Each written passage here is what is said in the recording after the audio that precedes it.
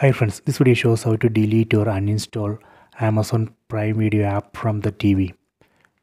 So first let me go to app section, go down, go to this downloaded app section.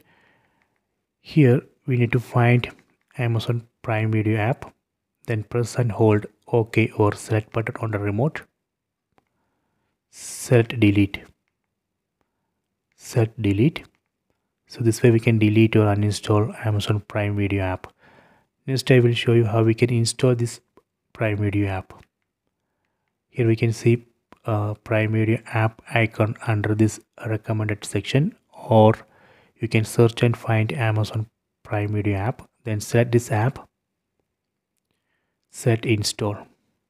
So now i am installing amazon prime video app. So please wait done. So we can add this app icon to home screen. You can set add to home. We can also set add to home here or you can go back go to downloaded app section.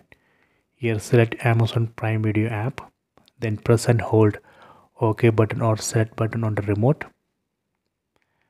Set add to home. So this way we can add app icon on home screen. So please try this I hope you enjoyed this video. Please subscribe this channel. Please like and share the video.